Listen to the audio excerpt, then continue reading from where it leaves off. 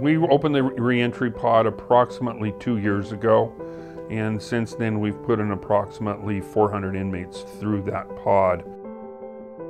They go in and they learn uh, some very focused skills because they're so close to going home. How to build and write a resume, how to apply for a job.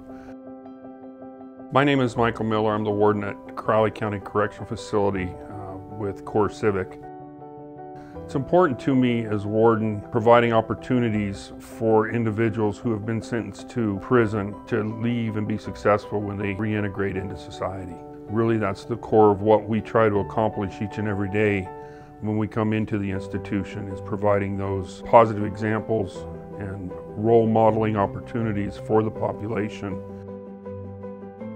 This reentry pod is important to me because it offers positive change and offers me fellowship with people that are transitioning home. There's always classes being offered. Even the staff that work in this facility come constantly, they know us, they know we're about to get out and they come in and offer positive encouragement. So that alone is pretty positive and it helps. I'm Counselor Charlie Wilbanks. I'm a correctional counselor in a housing unit here at, at Crowley County Correctional Facility. My philosophy in, in dealing with these offenders, treat them as individuals, treat them as though I would want to be treated myself. They're not bad people, they may have done some bad things to be here, but everyone deserves a second chance if they're willing to take that.